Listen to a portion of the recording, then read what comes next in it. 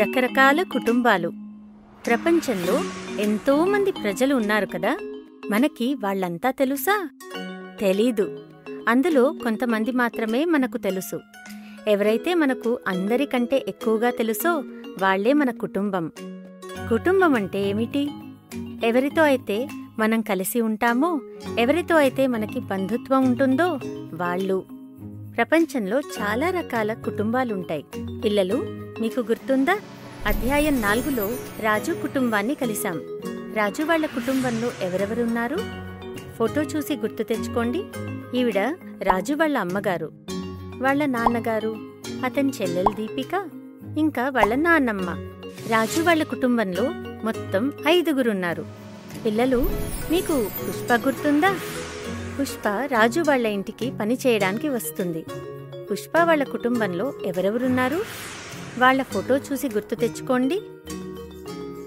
వీళ్ళే పుష్ప వాళ్ళ అమ్మ నాన్నగారు. వీళ్ళు ఆమె ఇద్దరు తమ్ముళ్ళు.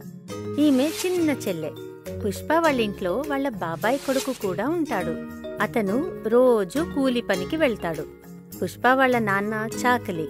వాళ్ళ అమ్మ ఇస్త్రీ పని చేస్తుంది. పుష్ప తమ్ముడు కూడా ఈ పనిలో సహాయం చేస్తాడు.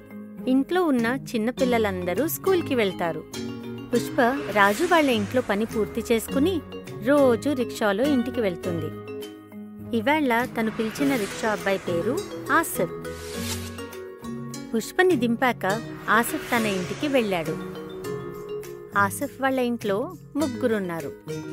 ఆసిఫ్ అతని భార్య అస్మా ఇంకా వాళ్ళ ముద్దుల కూతురు హీనా. హీనాని ఆసిఫ్ అస్మాలు దత్తత తీసుకున్నారు. ఆమెని బాగా గారాబం చేస్తారు. ఆసిఫ్ వాళ్ళ ఇంటి కింద ఒక పచారీ కొట్టుంది. దానిని బాలాజీ చూసుకుంటాడు. అతను కూతురు రమ్యతో పాటు కొట్టు వెనకే ఉన్న ఇంట్లో ఉంటాడు.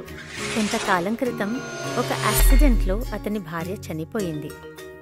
ప్రమాదంలో బాలాజీ కుడికాలికి కూడా గాయమైంది. అందుకే అతను కుంటుతూ నడుస్తాడు. రమ్య వాళ్ళ నాన్నను చాలా బాగా చూసుకుంటుంది.